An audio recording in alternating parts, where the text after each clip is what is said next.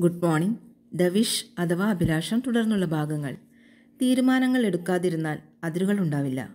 അങ്ങനെ വരുമ്പോൾ തുടർച്ചയായി ഊർജനഷ്ടവും സംഭവിക്കുന്നതാണ്. ഓരോ വ്യക്തിയെയും ഒരു അരിപ്പയോട് ഉപമിക്കാം നല്ല ഭക്ഷണം കഴിച്ച് വ്യായാമമുറകളെല്ലാം ക്രമം തെറ്റാതെ ചെയ്തു വന്നാലും നിർമ്മിച്ച ഊർജം ചോർന്നു പോയിക്കൊണ്ടിരിക്കും. നിങ്ങൾക്ക് ആത്യന്തികമായി ഊർജനഷ്ടം സംഭവിച്ചു കൊണ്ടിരിക്കുകയാണോ? ഊർജ സംഭരണം ഉണ്ടാകുന്നുണ്ടോ? ഇവയെല്ലാം അറിയാൻ നിരവധി മാർഗങ്ങളുണ്ട്. ഉദാഹരണത്തിന് നിങ്ങൾക്ക് എന്ത് ചെയ്യാനാണ് ഇഷ്ടം? എന്ന് ആരെങ്കിലും ചോദിച്ചു എന്നിരിക്കട്ടെ.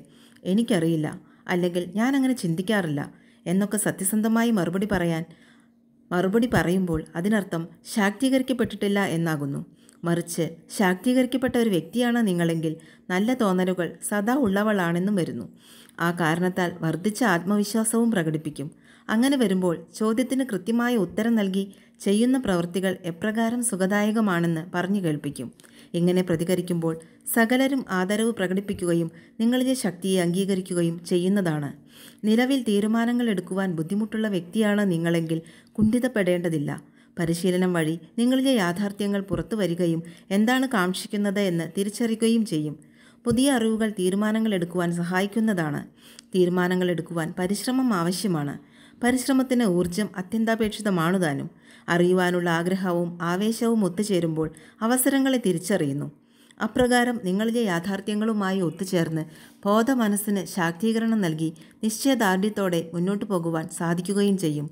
ബൃഹത്തായ തീരുമാനങ്ങൾ എടുക്കുവാൻ ബുദ്ധിമുട്ടുള്ളപ്പോൾ പത്തൊൻപതാം അധ്യായത്തിൽ വിവരിച്ചിട്ടുള്ള ആത്മാവിന്റെ ഗുണപരീക്ഷണം നടത്തി കാര്യങ്ങൾ സ്വായത്തമാക്കാവുന്നതാണ്. തുടക്കത്തിൽ താഴെ പറയുന്ന വാക്കുകൾ പ്രസ്താവിക്കാൻ മറക്കരുത്. എന്റെ ഏറ്റവും ശ്രേഷ്ഠമായതും ഗുണകരവുമായ നിലനിൽപ്പിനായി. കൃത്യമായി തെരഞ്ഞെടുത്താൽ ഊർജവൽക്കരണം നന്നായി നടക്കുകയും മെച്ചപ്പെട്ട അവസരങ്ങൾ വന്നു ചേരുകയും ചെയ്യുകയാണ് ചെയ്യുന്നതാണ് എന്ന് ഓർക്കുക. നമ്മിലെ അന്തർഭാഗത്ത് ധാരാളം അറിവുകൾ കുടികൊള്ളുന്നുണ്ട് എന്ന് കണ്ടിരുന്നല്ലോ. അതിനർത്ഥം പെട്ടെന്ന് ചെയ്തു തീർക്കേണ്ടതായ പ്രവൃത്തികളെക്കുറിച്ചുള്ള അറിവുകൾ ആത്മാവിനുണ്ടെന്നാണ്. ഉദാഹരണത്തിന് വളരെ അടുപ്പമുള്ള ഒരു സുഹൃത്തിനെക്കുറിച്ചോ കുടുംബ ബന്ധുവിനെക്കുറിച്ചോ ഉള്ള ചിന്ത വിചാരവീതികളിൽ പൊടുന്നനെ പ്രത്യക്ഷപ്പെടുന്നു എന്നിരിക്കട്ടെ. യുക്തിദിഷ്ടമായ വിചാരങ്ങളിൽ കൂടി നമ്മിലേക്ക് കടന്നുവരുന്ന വിചാരവീതികളെ പ്രതിരോധിക്കാൻ സാധിക്കും.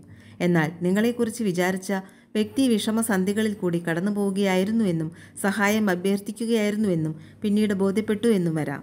മറിച്ച് പ്രസ്തുത വിചാരവീജി സ്വീകരിക്കുകയും ആ വ്യക്തിയെ വിളിച്ച് കാര്യങ്ങൾ തിരക്കുകയും ചെയ്യാനുള്ള സ്വാതന്ത്ര്യവും നിങ്ങൾക്കുണ്ട്. അന്തർജ്ഞാനം അനുസരിച്ച് പ്രവർത്തിച്ചാൽ തീർച്ചയായും സംതൃപ്തി ലഭിക്കുന്നതാണ്.